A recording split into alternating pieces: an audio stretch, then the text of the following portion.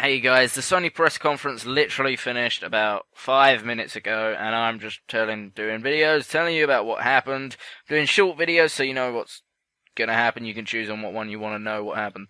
So anyway, um, they did announce the PlayStation 4.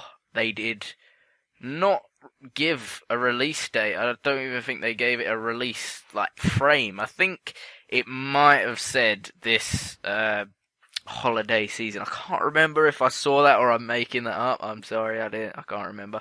But they didn't give a release date. They didn't even show us the actual um, console itself, which I think is a really good idea by Sony. I'm I, I don't I don't I wanted to see it, but they didn't even show it.